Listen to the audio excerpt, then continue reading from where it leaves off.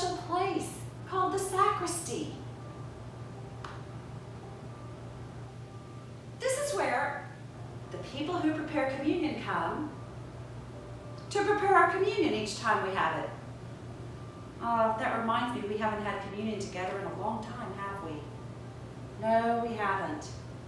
Maybe someday soon we'll get to have it. But in the meantime, visualize this with me. A special string that connects us all together, even when we can't be together.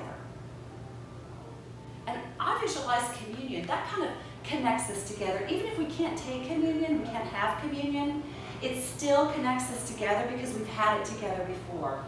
And that reminds me of our book today, The Invisible String.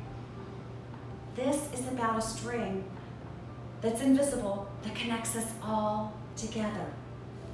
Where does the string go? How far can it reach? Who does it reach to?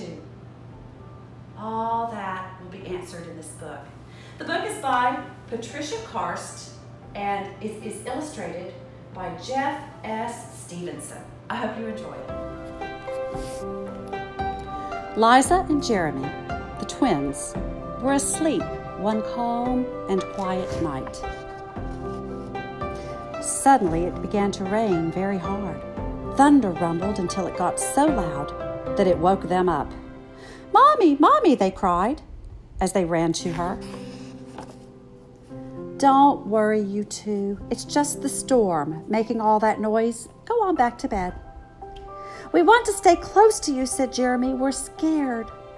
Mom said, You know we're always together, no matter what. But how can we be together when you're out here and we're in bed? said Liza.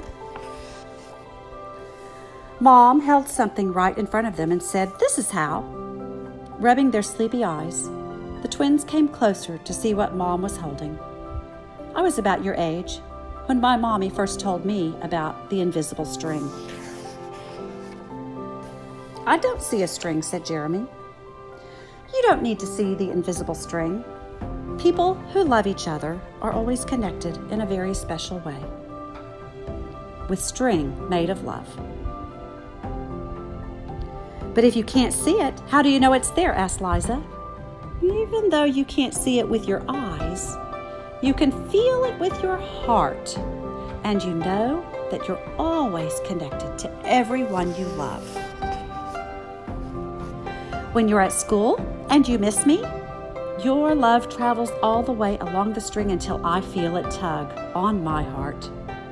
And when you tug it right back, we feel it in our hearts, said Jeremy. Does Jasper the cat have an invisible string? Liza asked. She sure does, said Mom. And best friends, like me and Lucy? asked Liza. Best friends, too. How far can the string reach? Anywhere and everywhere, Mom said.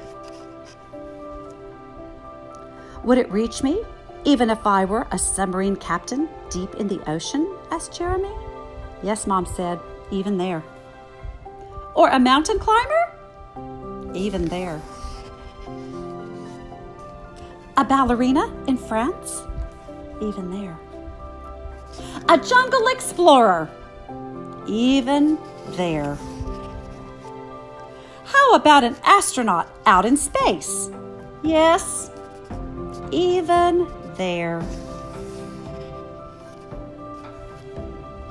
Then Jeremy quietly asked, Can my string reach all the way to Uncle Brian in heaven? Yes, even there. Does the string go away when you're mad at us? Never, said Mom. Love is stronger than anger. And as long as love is in your heart, the string will always be there. Even when you get older and you can't agree about things like what movies to see, or who gets to ride in the front seat, or what time to go to bed. Oh, that's right. You two should be in bed. And with that, they all laughed as Mom chased the twins back to their beds. Within a few minutes, they were asleep, even though the storm was still making the same noises outside. As they slept, they started dreaming of all the invisible strings they have, and all the strings their friends have, and their friends have, and their friends have, until everyone in the world was connected by invisible strings. And from deep inside, they could clearly see no one is ever alone.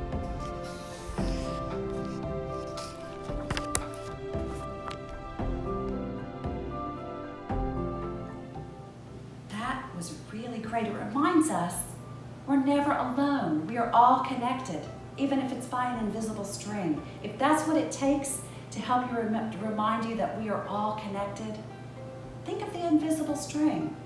And even reaches, it even reaches up to people that have gone before us, all the way up to heaven. Speaking of that, what a beautiful, beautiful ceiling in this place. Well, I hope you enjoyed our book, and I hope to see you soon. Bye-bye.